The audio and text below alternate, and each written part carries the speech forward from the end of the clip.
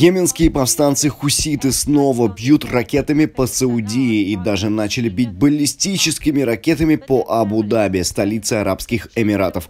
От того в нефтяных странах залива состояние близкое к панике. В этой ситуации на авансцену выходит Турция. Аналитики уже давно говорили, что защитить арабские страны залива от атак хуситов некому, кроме турецких байрактаров. Теракты хуситов Саудовской Аравии и ОАЭ являются явным нарушением международного права, заявили в МИД Турции.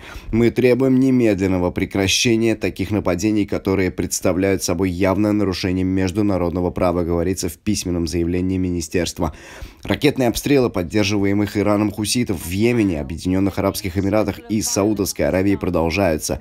В Эмиратах заявили, что две баллистические ракеты, принадлежащие поддерживаемым Ираном хуситам, в Йемене были нейтрализованы, а их части упали близ Абу-Даби. Саудовская Аравия заявила, что одна ракета, принадлежащая хуситам, была уничтожена. Тем временем хуситы в Йемене объявили о захвате военного грузового корабля, принадлежащего арабской коалиции. Об этом заявил военный представитель хуситов Яхья Сыри, сказав, военный грузовой корабль Объединенных Арабских Эмиратов, связанный с коалицией, который без разрешения вошел в воды Йемена и перевозил военную технику, был захвачен.